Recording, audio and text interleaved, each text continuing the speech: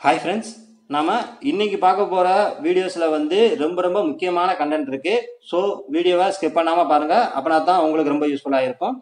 நம்மளுடைய சேனலை பொறுத்தளவுக்கு நம்ம டெய்லி டென் கொஸ்டின்ஸ் அப்படின்ற சீரிஸை வந்து ரெகுலராக பார்த்து வரோம். வாங்க இன்றைக்கான வீடியோக்குள்ளே போகலாம் இன்னைக்கான ஃபர்ஸ்ட் கொஸ்டின் என்னென்னு பார்த்தீங்கன்னா சென்னை மெரினா கடற்கரை வந்து எத்தனையாவது நீளமான கடற்கரைன்னு பார்த்தீங்கன்னா ரெண்டாவது நீளமான பெரிய கடற்கரை. அதுக்கப்புறமா சர்வதேச மலைகள் தினம் எப்போ கொண்டாடப்படுதுன்னு பார்த்தீங்கன்னா டிசம்பர் பதினொன்றாம் தேதி கொண்டாடப்படுகிறது.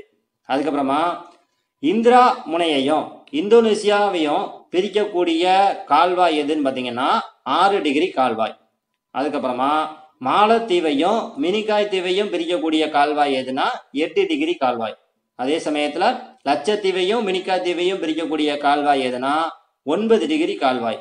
அதுக்கப்புறமா அந்தமான் தீவையும் நிக்கோபார் தீவையும் பிரிக்கக்கூடிய கால்வாய் எதுனா பத்து டிகிரி கால்வாய். இந்த ஒன்வேர்ட்ஸ் எல்லாத்தையுமே கவனமாக நோட் பண்ணி வச்சுக்கோங்க. ரொம்ப ரொம்ப முக்கியமானது. இதை வந்து பொருத்துக்களை கேட்கறதுக்கு அதிக வாய்ப்புகள் இருக்கு. அதுக்கப்புறமா அருகில் இருக்கக்கூடிய பெருங்கடல்களை காட்டிலும் ரொம்ப குளிர்ச்சியா இருக்கக்கூடிய பெருங்கடல் எதுனா தென் பெருங்கடல். இந்த தென் பெருங்கடல் அப்படின்ற கடலை பொறுத்தளவுக்கு பார்த்தீங்கன்னா இதற்கு இன்னொரு பேர் இருக்கு. அந்த பேர் என்னன்னா அண்டார்டிக் பெருங்கடல். ஓகேங்களா? அண்டார்டிக் பெருங்கடல்னாலும் தென் பெருங்கடல்னாலும் ஒன்று தான் கன்ஃபியூஸ் ஆகாதீங்க.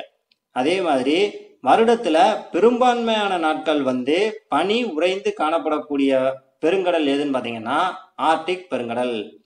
இந்த ரெண்டு உண்மையையும் கன்ஃபியூஸ் ஆகாம ஞாபகம் வச்சுக்கோங்க.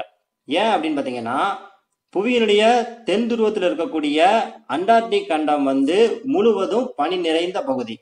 இந்த பனி நிறைந்த கண்டத்தை சுத்தி இருக்கக்கூடிய கடல் தான் அண்டார்டிக் பெருங்கடல். அந்த அண்டார்டிக் பெருங்கடல் தான் நம்ம தென் பெருங்கடல் சொல்றோம்.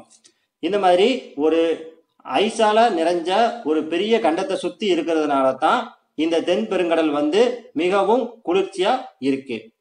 அதே மாதிரி புவியினுடைய வட துருவத்தில் இருக்கக்கூடிய பெருங்கடல் எதுன்னு பார்த்தீங்கன்னா இந்த ஆர்டிக் பெருங்கடல். இந்த ஆர்டிக் பெருங்கடல் வந்து புவியினுடைய வட துருவத்தில் இருக்கிறதுனால தான் வருடத்தோட பெரும்பான்மையான நாட்கள் வந்து பனி உறைந்து காணப்படுது. ஓகேங்களா?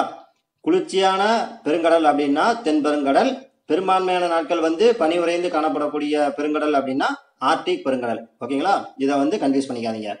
அதே மாதிரி புவியினுடைய வட துருவம் வந்து எங்க இருக்கு? அப்படின்னு பாத்தீங்கன்னா ஆர்டிக் பெருங்கடலினுடைய மையத்துல இருக்கு. ஓகேங்களா? அதுக்கப்புறமா கிழக்கு மற்றும் மேற்கு அரைக்கோளங்களுக்கு இடையே நடைபெறக்கூடிய கப்பல் போக்குவரத்து வந்து எந்த பெருங்கடல்ல நடைபெறும் அப்படின்னு பாத்தீங்கன்னா அட்லாண்டிக் பெருங்கடலில் வந்து நடைபெறும்.